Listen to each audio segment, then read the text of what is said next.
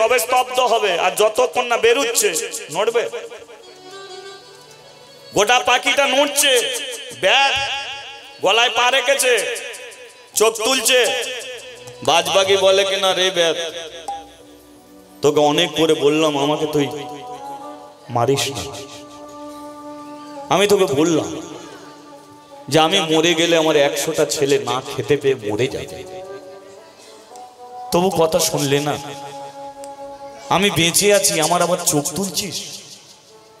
জীবিত অবস্থায় কারও যদি দুটো চোখ তুলে নেয়, তার যে কি যন্ত্রণা, একমাত্র সেই জানে। আমি জানি না কোন স্বার্থে তুই আমাকে মারলি।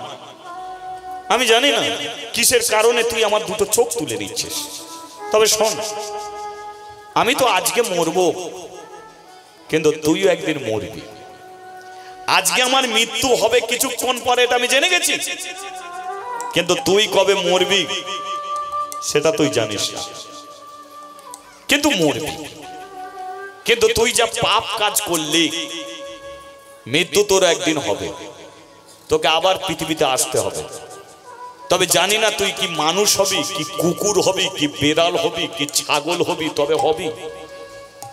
কিন্তু আমার অভিশাপে তুই হবি জন্ম থেকে অন্ধ, জন্ম থেকে অন্ধ।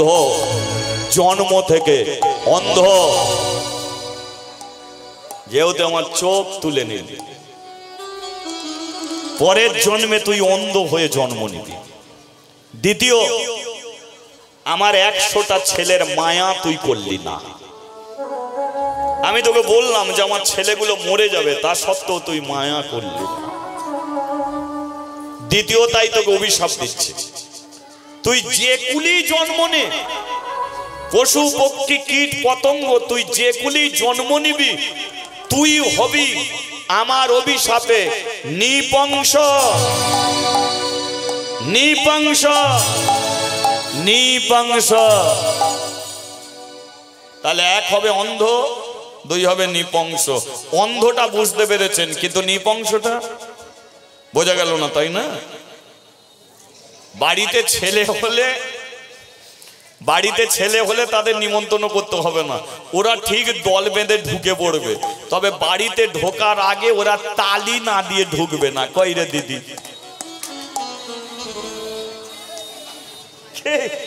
তালি ওরা দেবে। তালি না দিলে ওদের পেট চলবে না। দে দে দে, দিদি, তোর ছেলেটাকে দে, একটু নাচিয়ে দিয়ে যাই। হাজার দশেক দিবি। মেয়ে হলে কম নিতাম, ছেলে হয়েছে। ওদের কি বলে? হিজড়ে বাংলায় ওদের হিজড়া বলে। আচ্ছা ওদের বিয়ে দিলে ছেলে বলে হবে? তাই ওরা হলো নিপংস।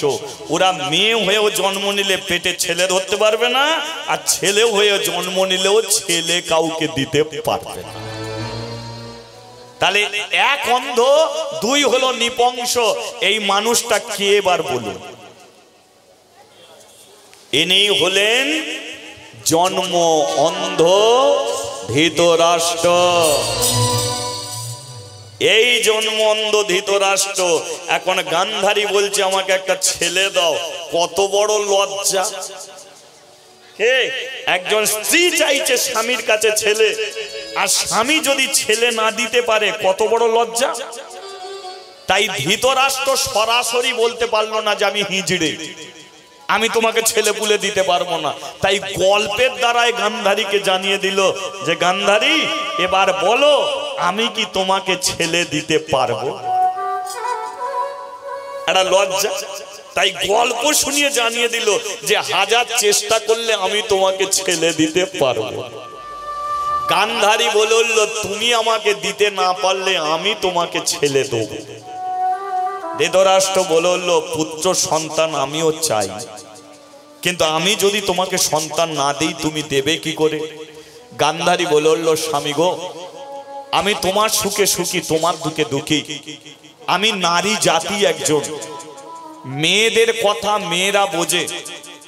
তদ্রব আমার কথা মেয়েরা বুঝতে পারবে। মেয়েরা যেমন কৃষ্ণকে ভালোবাসে তেমন আর একটা দেবতাকে ভালোবাসে। তিনি হলেন দেবাদিদেব মহাদেব শিব ঠাকুরকে। শিবের মতো করে না? অন্যান্য কি ব্রত হবে না হবতে হবে ঠিক নেই। একাদশী করব কি না করব ঠিক নেই। ষষ্ঠী পুজো হবে কি না হবে ঠিক নেই। কিন্তু শিবরাত্রির ব্রত এলে করে না? এই আজকে শিবের ব্রত তাই না? তাহলে আপনারা যেমন শিবকে ডাকেন, তেমন কৃষ্ণকেও ডাকেন। তদ্রুপ গান্ধারী বলে, আমার বাড়িতে যখন ছিলাম, তখন আমি কৃষ্ণকে ডেকেছি, আজকে আমি শিবকে ডাকি। কারণ শিব আর কৃষ্ণ দুটোই কিন্তু একই আত্মা। হর হর হর হর মানে কে? শিব। আর হর হরি মানে কে? কৃষ্ণ। কৃষ্ণ তাকে বৃন্দাবনে শিব তাকে কৈলাস। তাই তো? কৃষ্ণর হাতে মোহনবাসী, শিবের হাতে ডঙ্গরু শিব পরে বাদছাল কৃষ্ণ পরে পিতবস্ত্র এরা সব জায়গাতে এক, আলাদা আলাদা। বস্ত্র আলাদা, কি? ডিজাইন আলাদা, সব আলাদা। কিন্তু এক জায়গাতে এক কোন জায়গায়? ভক্ত যদি হরিনাম করে হরি ছুটি আসে আর ভক্ত যদি শিবকে ডাকে শিব সব কাজ ছেড়ে ভক্তের কাছে ছুটে। এদের দুজনেরই ভক্ত গত প্রাণ। তাই পৃথিবীর মানুষ যেমন কৃষ্ণকে ডাকে তেমন শিবেরও আরাধনা করে। তাহলে গান্ধারী বলে বলল অপেক্ষা করো, আমি শিবের কাছ থেকে বর লাভ নিয়ে তোমাকে আমি সন্তান দেব। তাহলে চলুন একটু শিবের আরাধনা করা যাক। সুন্দর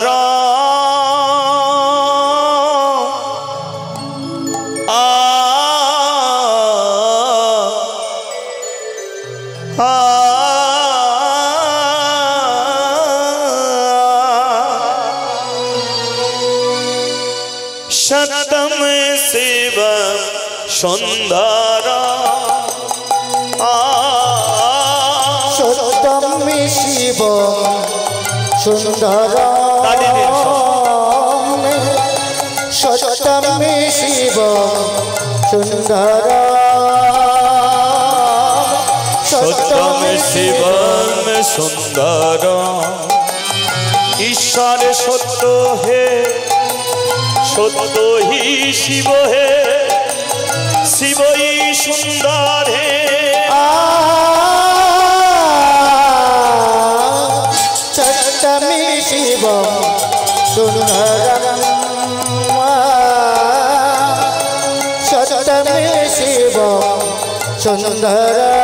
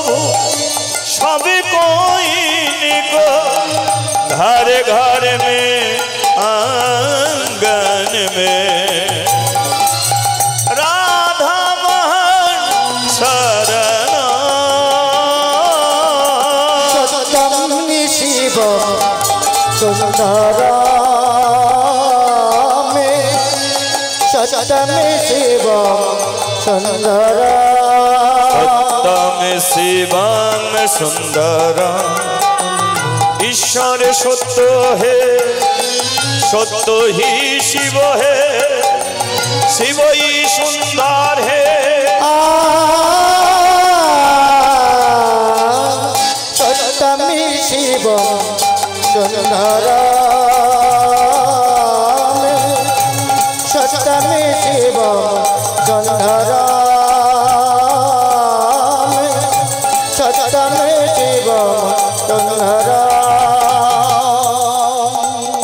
দেবাদিদে মহাদেব কি?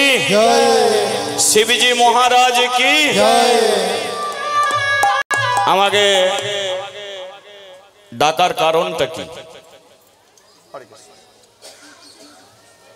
আমাকে ডাকার হ্যাঁ ডাকার কারণ তো আছে আমাকে সন্তান দিতে হবে। শিবজি বলে বলল সন্তান চাও। হ্যাঁ আমাকে একটা সন্তান দাও। শিব বলে বলল তুমি একটা ছেলে চাইলে আমি তোমাকে একটা দেব না। তাহলে কটা দেবে? না, তুমি চাইলে একটা, আর আমি কৃপা করে একের গায়ে দুটো শূন্য বসি আমি তোমাকে সন্তান দিচ্ছি। তাহলে একের গায়ে দুটো শূন্য বসে গেলে? তাহলে গান্ধারীর কটা সন্তান হলো? একশোটা। কার কৃপায় হয়েছিল? শিবের কৃপায়। ঠিক আছে? তা শিব বলল, একশোটা তুমি ছেলে পাবে, কিন্তু কেমন ছেলে চাই? গান্ধারী বলল আমার একশোটা ছেলে শক্তিমান হোক, বলবান হোক, রূপবান হোক, ঐশ্বর্যবান হোক, গুণবান হোক। শিব বলল, তুমি সব পাবে, কিন্তু চাওয়ার মতো চাইতে পারলে না বলে আমি বলে দিচ্ছি, একশোটা ছেলে থেকেও মরার সময় তুমি জল পাবে না। হরিবল, লক্ষ্য করে দেখুন, যার একশোটা ছেলে মরার সময় সে জল পায়নি। কেন পায়নি? আগে জেনে দেখতে হবে, শিব কি চায়? শিব তো একজন পরম বৈষ্ণব। শিব তো একজন পরম কৃষ্ণ ভক্ত। তাহলে কৃষ্ণ ভক্তর কাছে টাকা পয়সা চাইলে পাবে? কৃষ্ণ ভক্তর কাছে সোনা দানা চাইলে পাবে? তাহলে কৃষ্ণ ভক্তর কাছে চাইতে গেলে কি পাওয়া যাবে? ভক্তি। যে তুমি এত বড় কৃষ্ণ ভক্ত তুমি আমাকে একটু কৃষ্ণ ভক্তি দাও। তাহলে সে কৃষ্ণ ভক্তি দিতে পারবে টাকা পয়সা দিতে পারবে না। তাহলে গান্ধারী কি চাইলো?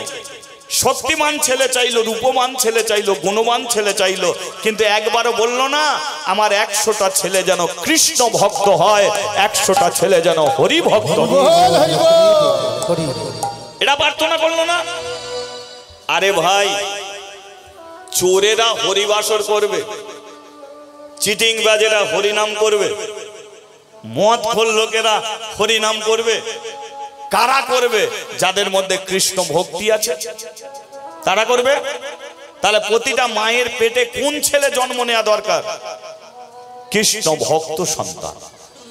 কৃষ্ণ ভক্ত সন্তান বাপ মার পাপের বোঝা পর্যন্ত মাথায় তুলে নিতে পারে বাপ মার পাপের বোঝা মাথায় তুলে নিতে পারে। এটা আমার কথা নয়। হিরণ্যকশিপুরের ছেলে কে ছিল? কৃষ্ণ ভক্ত প্রহ্লাদ। ভগবান যখন নিঃসিংহ অবতারে হিরণ্যকশিপুরকে মারছে, তখন ছোট্ট প্রহ্লাদ কাঁদছিল। ভগবান বলল, তুই কাঁদছিস কেন? প্রহ্লাদ বলেছিল, ঠাকুর, বাবা আমার লক্ষ লক্ষ পাপ করেছে কিন্তু আমার জন্য একটা পুণ্যের কাজ করেছে। ভগবান বলে কিনা ওর মধ্যে পুণ্য আছে, এটা আমার জানা নেই। জানা নেই পুণ্য আছে বলে। কি পুণ্য করেছে তোর জন্যে? প্রহ্লাদ বলেছিল, ঠাকুর, বাবা লক্ষ লক্ষ পাপ করল, কিন্তু কৃপা করে আমাকে জন্ম দিয়েছিল বলে, তাই আমি তোমাকে চোখের সামনে দেখতে পাচ্ছি। বাবা যদি আমাকে কৃপা করে জন্ম না দিত, তাহলে বলো তোমার দেখা হতো? কি? কোন মা, বাবা যদি হরিভক্ত ছেলের জন্ম না দিত, সে ছেলেটা হরিবাসরে বসতে পারতো? তাহলে আমার বাবা পাপ করেছে, কিন্তু আমাকে জন্ম দিয়েছে বলে তোমাকে দেখতে পাচ্ছি। বলো, এটা পুণ্যের কাজ নয়? ভগবান বলল বর চেন। প্রহ্লাদ তখন বলেছিল, বর যদি দিতে হয়, এই বর দাও। আমার বাবা যে পাপ করেছে, আমার বাবার পাপের বোঝা তুমি আমার মাথায় চাপিয়ে দাও। আর হরিনাম করে যদি পুণ্য অর্জন করে থাকি, তাহলে পুণ্যের ফল সব আমার বাবাকে দিয়ে কে বলতে পারে? কৃষ্ণ ভক্ত ছেলে বলবে? হরি ভক্ত ছেলে বলবে? আর যে দিন রাত্রি কাঁচা বাদাম করে চেল্লাচ্ছে বলতে পারবে? কি একটা গান উঠল না? খালি কাঁচা বাদাম ভাইরাল তদ্রূপ প্রতিটা বাড়িতে হরিভক্ত ছেলের প্রয়োজন আছে। আজকে লক্ষ্য করে দেখুন হীরা, আজকে গান্ধারীর একশোটা ছেলে হলো, কিন্তু কি হলো? চোর চিটিং বাজ জুয়া কর সাতটা কর মদ কর গেঁজা কর শুধু তাই নয়, পরের ছেলেকে কিডন্যাপ। টাকা উপায় করার রাস্তা নয়। তোমার অনেক টাকা আছে? ছেলেকে কিডন্যাপ করে নিল। ফোন করে বলে দিল, পাঁচ লাখ টাকা দিবি, ছেলে পাবে।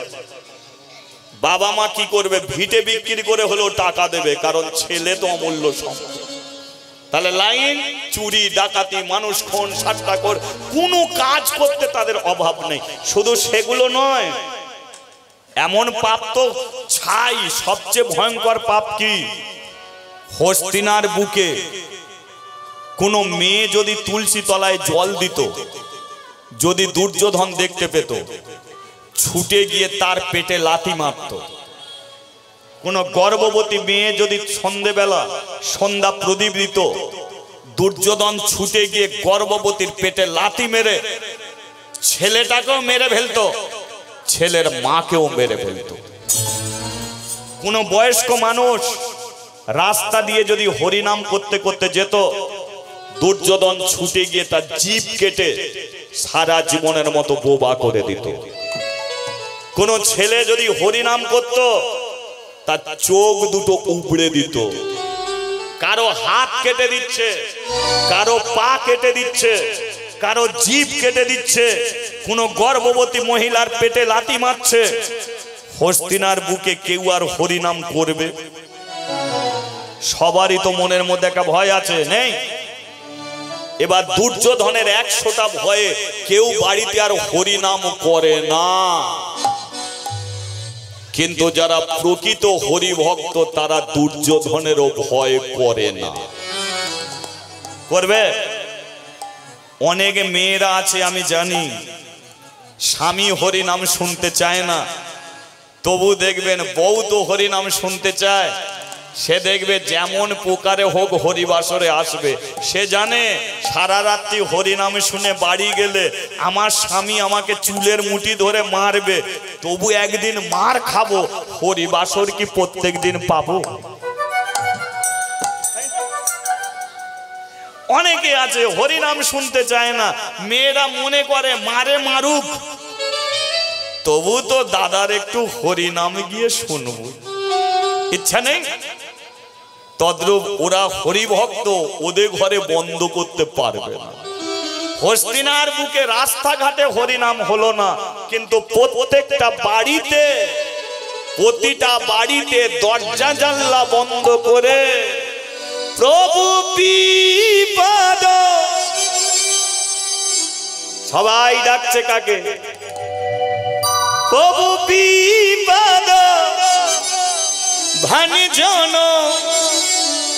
তিলক তারণ মনিরমরণ জন মুরারি।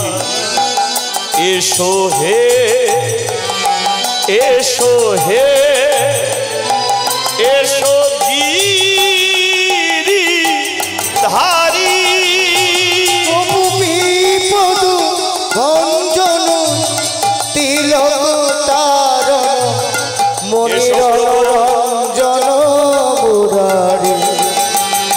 এসো হে এসো হে এসো গিরিধারী। এসো এসো প্রভু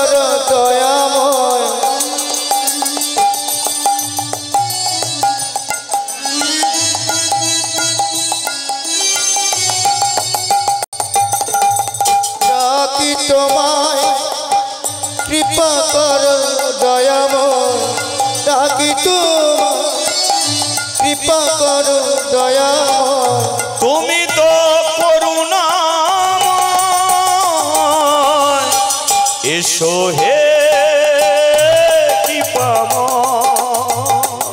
এসো হে কৃপাময় এসো হে দয়াময়। এসো হে প্রদীপ জ্বালিয়ে ডাকি গো তোমার দেখা দাও দেখা দাও। দেখা দাও দয়াময় প্রদীপে জলে ডাকি তোমার দেখা দা দেখা দা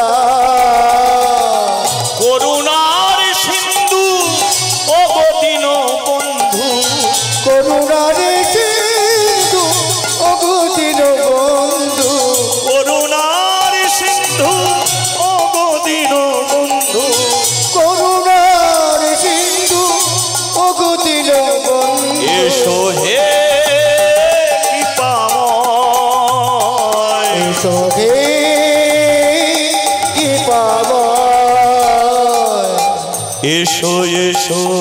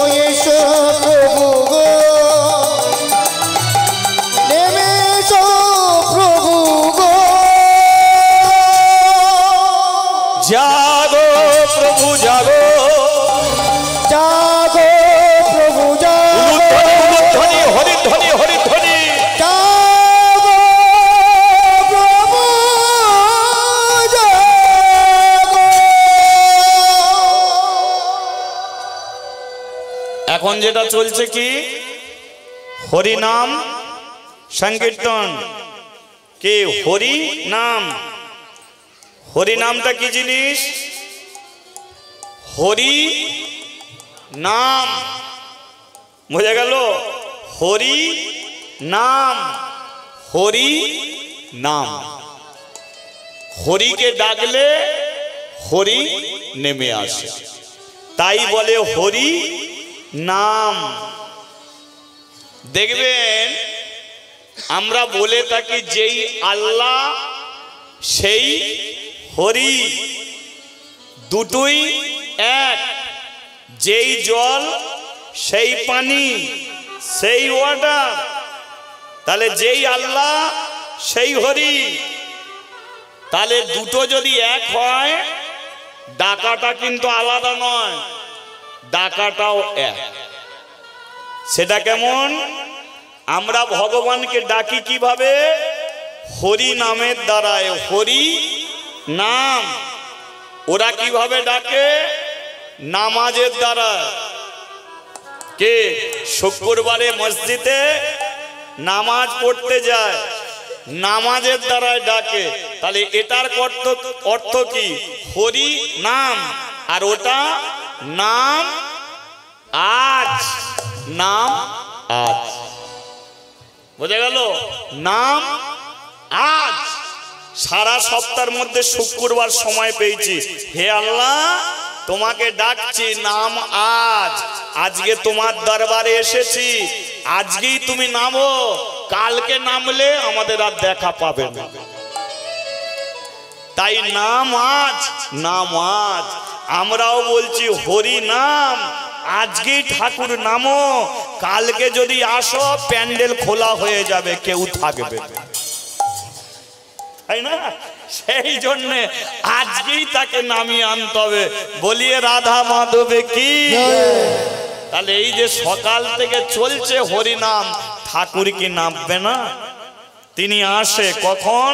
যদা যদা হি ধর্মস্ব গ্লানের ভবতি ভারত। সাধুরা যখন অত্যাচারিত হয়, ভক্তরা যখন অপমানিত হয়, বৈষ্ণবরা যখন লাঞ্ছিত হয়, ভগবান তখন ধর্মকে রক্ষা করতে বারে বারে তিনি আবির্ভূত হয়। তাহলে আজকে দুর্যোধনের একশোটা ভাই যে পাপ কাজ করে চলে যাচ্ছে, ওই পাপীদের ধ্বংস করার জন্যে কৃষ্ণ হস্তিনাতে এলো না। এলো কোথায়? সুবল রাজার রাজপ্রাসাদে। বোঝা গেল, আসতে কথা নয়। সুবল রাজার রাজপ্রাসাদে কৃষ্ণ এসে বলছে, সুবল কেমন আছিস? সুবল বলে, কৃষ্ণ এতদিন পরে বলে হ্যাঁ এলাম। তোর মেয়েটার বিয়ে দিয়েছিস? হ্যাঁ দিয়েছি, কিন্তু একটা অন্ধ ছেলের সঙ্গে বিয়ে হয়েছে। কৃষ্ণ, তুই জানিস? বলে, যে কথা প্রধানমন্ত্রী জানে না, আমি জানি। কারণ আমার নাম হলো অন্তর্জামী। আমি হলাম অন্তর্জামী। ঠাকুর ঘরে গিয়ে বলতে হবে না, এটা দাও, ওটা দাও, সেটা দাও। কারণ ও তো অন্তর্জামী ও ঠাকুর ঘরে পা রাখলি বুঝে নিতে পারে তুমি কেন এসেছ। তাহলে যার কাছে কোনোদিন চাইতে নেই, না চাইলেও পাওয়া যায়। তিনি হলেন ভগবান। তা সুবল, মেয়েটার তো বিয়ে দিয়েছিস জানি, কিন্তু মেয়ের বাড়িতে গিয়েছিলিস? কিন্তু গান্ধারী কি বলেছিল যে জীবনে তোরা শ্বশুরের ভিটে উঠবি না? বলে গিয়েছিল, তাই কুড়ি বছর গান্ধারীর বিয়ে হয়েছে, সুবল রাজা যায়নি, সুকনিও যায়নি। তা কৃষ্ণ বলছে, মেয়ের বাড়িতে গিয়েছিলিস? বলে, মেয়ে নিষেধ করে গেছে, তাই যাইনি কৃষ্ণ বলে উঠল আগামী কাল যাবি। যাব মানে? তোদের লজ্জা থাকা দরকার। যে অন্ধ ছেলেকে বিয়ে করে জীবন কাটাচ্ছে, তোদের ঘরে বাঁচিয়ে রেখে দিল, আর সেই মেয়েটা বলে গেল বলে গেলি না? বলে, কি করব? কাল সকালবেলা চলে যাবে। সব কটা ছেলেকে নিয়ে যাবি, আমি বলে যাচ্ছি। আর তবে সুবলে একটা কথা বলে দিচ্ছি, শোন। অন্যান্য ছেলেরা যায় কি না যায় জানি না। কিন্তু শুকুনিকে নিয়ে যেতে কিন্তু ছাড়বি না। বোঝা গেল? যে শুকুনিকে নিয়ে যেতে ছাড়বে না, কারণ কৃষ্ণ জানে দাপর যুগে ধর্ম প্রতিষ্ঠিত করতে গেলে আমার একার দ্বারায় হবে না, আফগানিস্তানের ছেলে শুকুনিকে প্রয়োজন আছে। তাহলে যে শুকুনি কোনোদিন আফগানিস্তানের মাটি ছাড়েনি, আজকে শুকুনিকে টান মেরেছে শ্রীকৃষ্ণ। সুবল কেউ যায় না যাক অন্তত শুকুনিকে নিয়ে যাবে। বলে দিয়ে কৃষ্ণ চলে গেছে। আর সুবল কি করেছে? প্রত্যেকটা ছেলেকে বলছে "এই যে, যাবি? তোর বোনকে দেখতে যাবি? যাব। যাবি তো? কিরে যাবি? সবাই যাব। তাহলে চ আর দেরি করিস না। ব্যাস দল বেঁধে বেরিয়ে পড়েছে। বোঝা গেল? কুড়ি বছর পরে যাচ্ছে কোথায়? মেয়ে জামাইয়ের বাড়িতে। তা দেখবেন, একটা কথা বলে দিই। আপনি ধরুন ছোটবেলায় এক জায়গায় ছিলেন, বড় হয়ে আপনি অন্য জায়গায় চলে গেছেন। তো কাজের ক্ষেত্রে যদি ছোটবেলায় যে জায়গায় ছিলেন, যদি ওরই পাশে আপনাকে যেতে হয়, তো আপনার মনে ইচ্ছা হবে না যে ছোটবেলায় যেখানে ছিলাম, ওই জায়গাটা একটু ঘুরে তারপরে যাই? হবে তো ইচ্ছা তাহলে হস্তিনাপুর কোথা? একদিকে বৃন্দাবন, মাঝখানে যমুনা, অপরটা হস্তিনাপুর। তা সুবল বলে শুকুনি রে, সেই তো মেয়ে জামাই যাও, বাড়ি যাব বলে বেরিয়েছি। তা বড় ইচ্ছা, আমি একটু বৃন্দাবনটা ঘুরিয়ে তারপরে যমুনা পার হয়ে মেয়ে জামাইকে দেখতে যাব। তো তোদের কি ইচ্ছা বল? শকুনি বলে, কেনা বাবা, আর কোনোদিন যেতে পারবে না পারবে? শুনেছি ছোটবেলায় তুমি বৃন্দাবনে ছিলে। সেই বৃন্দাবনের দিকে যাব যখন, একটু বৃন্দাবনটা ঘুরেই যাব। তে তার সমস্যা কি আছে? তাহলে যাবি তো? যা যাবে? আপনারা যাবে আমার মেয়ে জামাইয়ের বাড়িতে যাবেন? সরাসরি যাব না, কিন্তু বৃন্দাবন হয়ে যাব। যাবেন? আচ্ছা কে কে বৃন্দাবনে যেতে চান না, হাত তুলুন তো।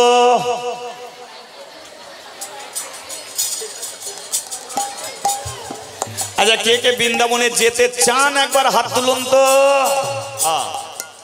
তাহলে মেয়ে জামাইকে দেখাও হবে, বৃন্দাবনে ঘোরাও হবে।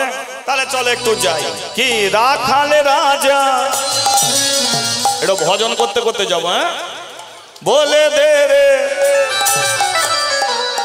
কোথায় বৃন্দাব শ্যামে কুণ্ড রাধা কুণ্ড গিরি গোবর্ধন রাজা বলে দেরি কোথায় বৃন্দাব শ্যামে কুণ্ড রাধা কুণ্ড গিরি গোবর্ধন হাতে তালি মুখে উলুধ্বনি। হরিবল হরিবল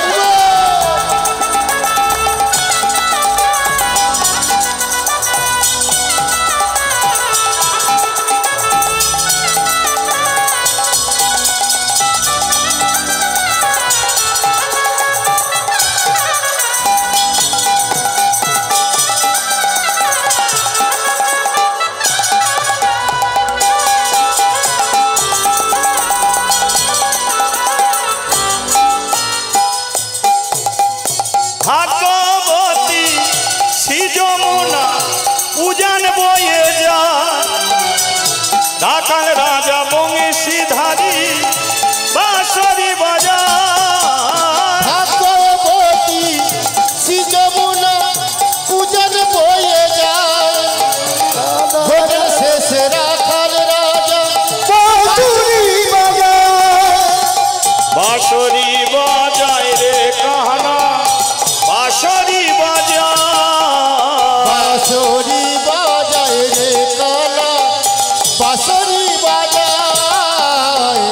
ভাগবতী শ্রী যমুনায় উজান বয়ে যায় বাঁশুরি বাজায় রে কালা বাঁশুরি বাজায় ভাগবতী।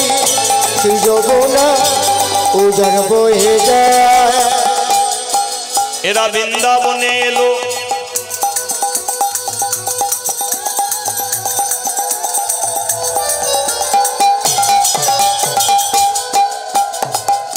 শ্যাম কুণ্ড রাধা কুণ্ড দর্শন করল। চুরাশি কোষ বৃন্দাবনে ভ্রমণ করে সোয়াল রাজা এবার যাবে মেয়ে জামাই বাড়িতে। সন্মুখে দেখে যমুনা। ওরে ও যমুনা।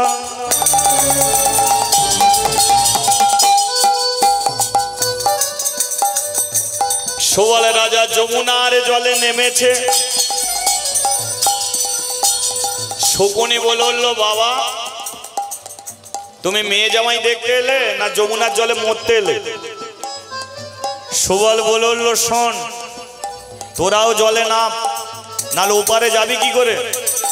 শকুনি বলল, নৌকা কথা? শকুনি বলে, নৌকা কথা? সুবল বলে, এখানে নৌকার ব্যবস্থা নেই। বলে নৌকার ব্যবস্থা নেই মানে নদী পারাপার হয় না বলে হয়। তাহলে পার হয় কি করে? বলে এরা জলে নামে আর একজনের নাম করে জল সরে যায়, যমুনা পার হয়ে যায়। বলে কার নামের এত বড় ক্ষমতা যে যমুনার জল সরে যায়, পার হয়ে যায়? বলে সে বৃন্দাবনে ছিল সে হলো বৃন্দাবনের শরী কে? রাধা ঠাকুরানী। তাই তো? তাহলে আমাদের তো যমুনা পার হলে তবে আমার মেয়ে জামাই দেখতে যেতে পারবে। এখানে তো নৌকার ব্যবস্থা নেই। তাহলে যমুনার জলে পার হওয়া যাবে তো? কিসের গুণে পার হবে? রাধে রাধে বলে, কিন্তু অনেকে দেখেছি আসতে। রাধে রাধে নাম করতে বললে অনেকে দেখেছি তাদের একটু বিরক্ত ভাব হয়ে যায়। তারা জানে না রাধা রানী কে। ছোট্ট করে একটা কথা বলে দিচ্ছি, একটা ছোট্ট প্রমাণ। শ্রীকৃষ্ণ বিয়ে করেছিল ষোলো হাজার একশো আট জনকে। যে কৃষ্ণ এতজনকে বিয়ে করেছিল আপনারা কোনোদিন দেখাতে পারবেন যে শ্রীকৃষ্ণ তার কোন স্ত্রীকে, তার কোন স্ত্রীকে পাশে দাঁড় করিয়ে একটা ছবি তুলেছে। আছে?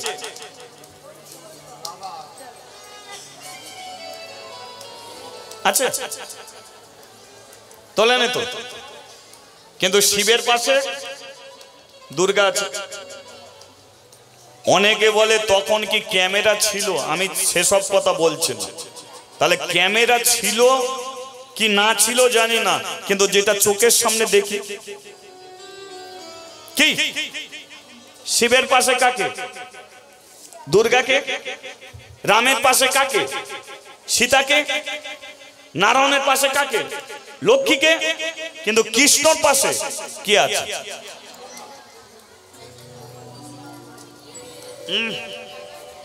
কৃষ্ণর পাশে কে? রাধা। রাধা রানী তো স্ত্রী নয়। তাহলে এগুলো যদি দেখি, রামের পাশে যদি সীতাকে দেখি, নারায়ণের পাশে যদি লক্ষ্মীকে দেখি, শিবের পাশে যদি দুর্গাকে দেখি, তাহলে কৃষ্ণর পাশে কোন স্ত্রীকে দেখি না কেন? কেন দেখি রাধারানীকে? কারণ কৃষ্ণ, তিনি বিয়ে করেছিল বিশেষ একটা কারণে। বিশেষ কারণে তিনি এতজনকে বিয়ে করতে হয়েছিল। এ প্রমাণ দিতে গেলে শেষ হবে না কথা। প্রমাণ দেয়া যাবে না। কিন্তু বিশেষ কারণে তিনি এতজনকে বিয়ে করেছিল, কিন্তু কোন স্ত্রীকে পাশে নিয়ে দাঁড় করায়নি। একমাত্র রাধারানীকে দাঁড় করিয়েছিল। কেন? কারণ ওগুলো তার স্ত্রী ছিল। রাধারানী তার আল্লাদিনী শক্তি ছিল। সত্যি। এর প্রমাণটা কি? বৃন্দাবনে শ্রীকৃষ্ণ পর্বত ধরেছিল। গিরি গোবর্ধন পর্বত কোন হাতে? ডান হাতে না বাঁ হাতে? বাঁ হাতের কোড়ে আঙুলে পর্বত ধরেছিল, তাই তো? বাঁ হাতের কোড়ে আঙুলে করে যদি পর্বত ধরে, তাহলে মানুষের তো ডান হাতে জোর। কৃষ্ণ কি তাহলে ল্যাটা ছিল? তার বাঁ হাতে জোর? তাহলে তিনি ডানাতে না ধরে বাঁ হাতে ধরলো কেন? কারণ একটা পদের মধ্যে শুনবেন বৃন্দাবনে যে দুটো পাখি ছিল তারা কি বলতো? সুখ বলে আমার কৃষ্ণ গিরি ধরেছিল। সুখ বলে আমার কৃষ্ণ গিরি ধরেছিল। সুখ বলে আমার কৃষ্ণ গিরি ধরেছিল। সুখ বলে আমার কৃষ্ণ গিরি ধরেছিল। তারপরেটা আপনারা জানেন। শাড়ি বলে শাড়ি বলে আমার রাধা। শক্তি সঞ্চারিল দেখেছেন? রাধা রানী যদি শক্তি না দিত, পর্বত ধরতে পারত? তাহলে পর্বতটা ধরে রেখেছে কার শক্তিতে? রাধার শক্তিতে। কৃষ্ণর বাম অঙ্গ থেকে রাধার সৃষ্টি। বাম অঙ্গ থেকে রাধার সৃষ্টি। রাধা রানী হলো কৃষ্ণের আল্লাদিনী শক্তি। কৃষ্ণকে আনন্দ দান করাই হলো তার কাজ।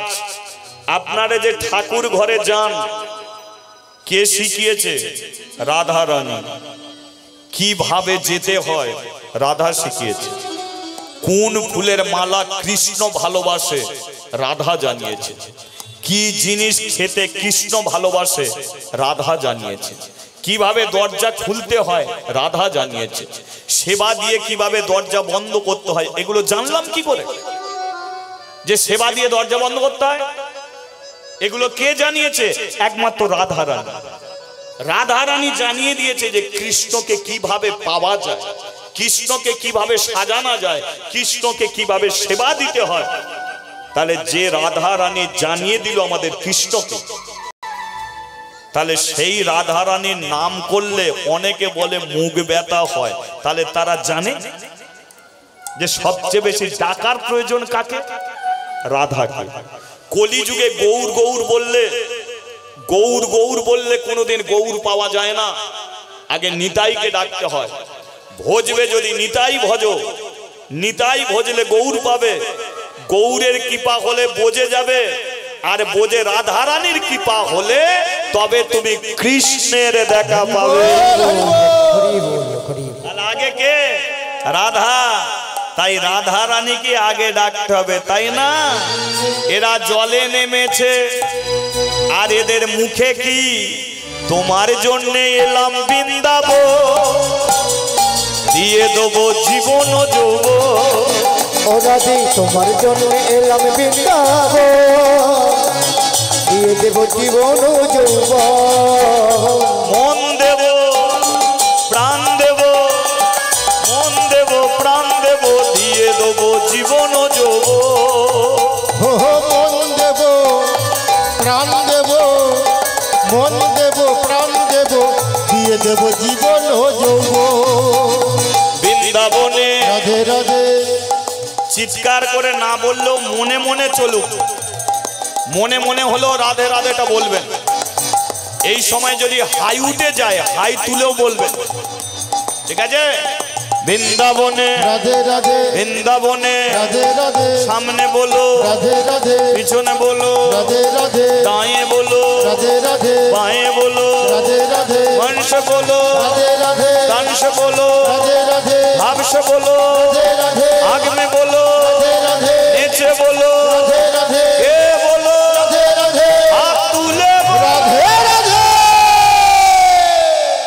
কিছুক্ষণ হাত করে রাখলে খুব সমস্যা। না না, জলে ডুববো না, জলে ডুববো না। দেখতে পাচ্ছ না, যমুনার জল সরে যাচ্ছে। তাহলে আমরা ডুববো কেন? ওপরে হাত। তোমার জন্য এলাম বৃন্দাব দিয়ে দেবো জীবন যৌব ও রাধে তোমার এলাম বৃন্দাব দিয়ে দেব জীবন যৌব দিয়ে দেবো জীবন যৌব দিয়ে দেব জীবন যৌব উলুধ্বনি উলুধ্বনি। জীবন যৌব দিয়ে দেব জীবন যৌব দিয়ে দেব জীবন যৌব বলিয়ে রাধা কি? এবার মেয়ে জামাই বাড়ি যাওয়া যাবে কি? যমুনা পার হয়েছে। এবার একশোটা ছেলে আর সুয়াল রাজা দল বেঁধে যাচ্ছে কোথায়? হস্তিনাপুর। কে? যমুনা পার হই মুখে কি চলেছে? কৃষ্ণ কৃষ্ণ কৃষ্ণ কৃষ্ণ কৃষ্ণ কৃষ্ণ কৃষ্ণ হে কৃষ্ণ কৃষ্ণ কৃষ্ণ কৃষ্ণ কৃষ্ণ কৃষ্ণ ঘে কৃষ্ণ কৃষ্ণ কৃষ্ণ কৃষ্ণ কৃষ্ণ কৃষ্ণ কৃষ্ণ হে কৃষ্ণ কৃষ্ণ কৃষ্ণ কৃষ্ণ কৃষ্ণ কৃষ্ণ কৃষ্ণ হে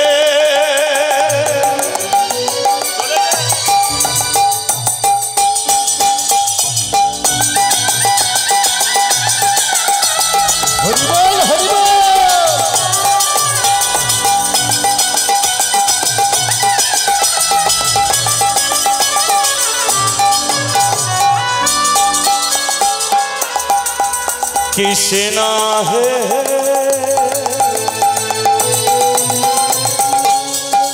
কৃষ্ণ হে। কৃষ্ণ হে। পথ চলে আর বলে গাহে কৃষ্ণ না, গাহে হরি না, গাহে কৃষ্ণ না। কত চলে আরে বলে গাবে কৃষ্ণ নাম গাবে কৃষ্ণ নাম আরে গরি নাম পথ চলে আর বলে গাহে কৃষ্ণ নাম গায়ে কৃষ্ণ নাম গাহে কৃষ্ণ নাম। কত চলে আরে বলে গাবে কৃষ্ণ নাম গাবে কৃষ্ণ নাম গাহে কৃষ্ণ নাম। মধুর হরি নাম গাহে কৃষ্ণ নাম। গরি নাম গাবে কৃষ্ণ নাম। মধুর হরি। দল বেঁধে কারা আসছে সব? না না আপনারা ঘর ঘোরাবেন না। ঘটনাটা বুঝে নিন। দুর্যোধনের একশোটা ভাই বসে আছে আর সুবল রাজা তার একশোটা ছেলেকে নিয়ে আসছে। দুর্যোধন যেদিকে আছে ওই দিকে আসছে। দুর্যোধন দেখে বলল কি ব্যাপার? দল বেঁধে কারা আসছে? মানে একশো জন যদি একসঙ্গে আসে, একটা দল হবে না? তা দুর্যোধন বলে, দল বেঁধে কারা আসছে? দুঃশাসন বলে উঠল, তাহলে দাদা, ওরা কি মারতে আসছে? দুর্যোধন বলে উঠল, মারতে যদি আসবে তো হাত তুলে আসবে কেন? তার মানে প্রত্যেকটা ছেলে তো হাত তুলে হরিনাম করতে করতে আসছে। কে গো? হাত যদি তোমার উপরে থাকে, তুমি কাউকে মারতে পারবে? তুমি কাউকে আটকাতে পারবে? তা দুর্যোধন বলে, হাত যখন উপরে তুলে আসছে, ওরা মারপিট করতে আসছে না। মারপিট করবে না। দেখা যাক ওরা কারা, কোথা থেকে আসছে। ওদের ঘরে আসতে কে?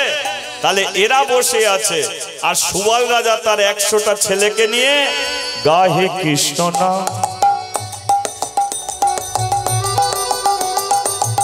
মধুর হরিনা মধুর কৃষ্ণ না মধুর মধুর মধুর হরিনা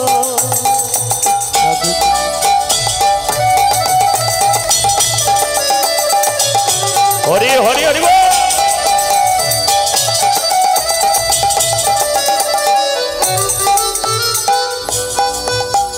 কৃষ্ণ কৃষ্ণ কৃষ্ণ কৃষ্ণ কৃষ্ণ হে কৃষ্ণ কৃষ্ণ হে কৃষ্ণ হে। কৃষ্ণ হে কৃষ্ণ হে কৃষ্ণ হে কৃষ্ণ হে। যেই দুর্যোধনের কাছে এসেছে আজা আগে আমি বলে গেছি কেউ যদি দুর্যোধনের কাছে কৃষ্ণের নাম করতো দুর্যোধন কি করতো? তার জীব টেনে ছিঁড়ে দিত। যে বাড়িতে হরিনাম করতো, দুর্যোধন লাথি মেরে ঘর বাড়ি ভেঙে দিত। যে দুর্যোধনের কাছে হরিনাম করতো, চোখ তুলে নিত। তাহলে সুবল রাজা তার একশোটা ছেলেকে নিয়ে দুর্যোধনের কাছে দাঁড়িয়েছে। মুখে কি চলছে? কৃষ্ণ কৃষ্ণ, তাহলে দুর্যোধনের সহ্য হচ্ছে কি? বানর! সুবল বলে, এই হাত নামিয়ে নে। কোথা থেকে আসছেন? আমরা আফগানিস্তান হতে আসছে। এগুলো কারা? আমার একশোটা ছেলে। এখানে কেন? মেয়ে জামাইকে দেখতে আসছি। তো মেয়ে জামাইকে দেখতে এখানে কেন? এখানেই তো আমার মেয়ে জামাই আছে। আপনার মেয়ে নাম কি? সুবল বলে, আমার মেয়ের নাম হলো গান্ধারী। যেই বলেছে গান্ধারী হরে কৃষ্ণ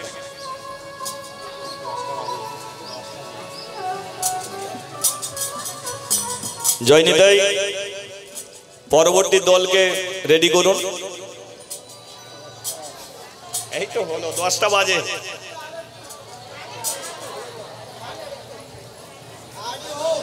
জয়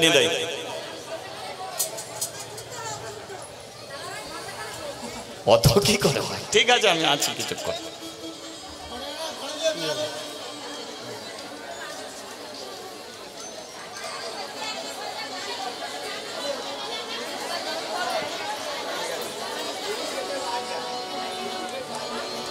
জয় নিতাই নিতাই। একটু আসতে শান্ত হন, একটু আসতে তাহলে সুবল কি বলছে আমার মেয়ের নাম গান্ধারী যেই বলেছে গান্ধারী দুর্যোধন মাথায় হাত দিয়েছে গান্ধারী গান্ধারী তো আমার মায়ের নাম।